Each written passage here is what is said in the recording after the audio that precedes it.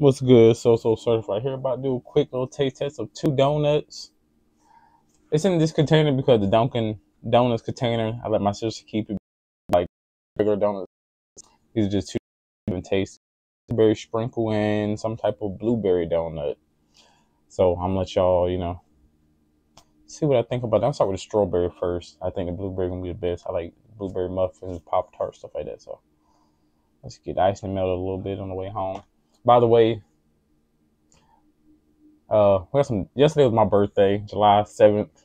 I didn't. I uploaded, but I didn't upload from like that day. I didn't do nothing but go out to eat and chill.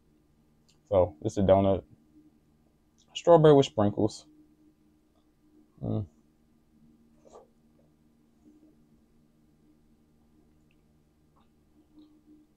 Pretty good.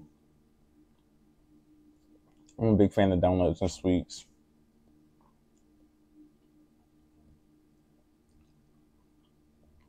Mm. I don't know if y'all eat Dunkin' Donuts, but strawberry sprinkles are pretty good. Not too sweet. Sprinkles aren't too much.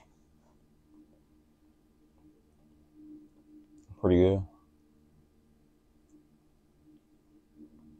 hmm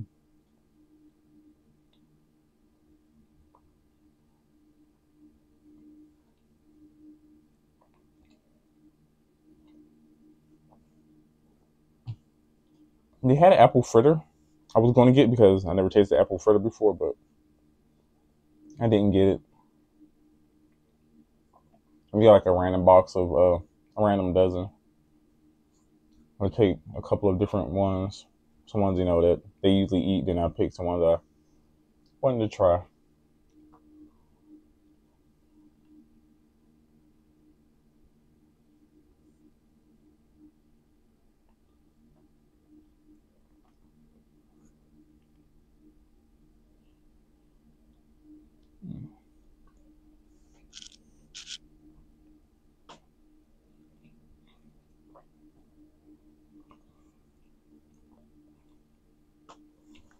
That was a strawberry donut. I give that a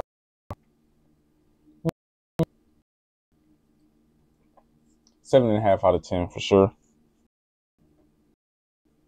Let me know if y'all tried that. About it.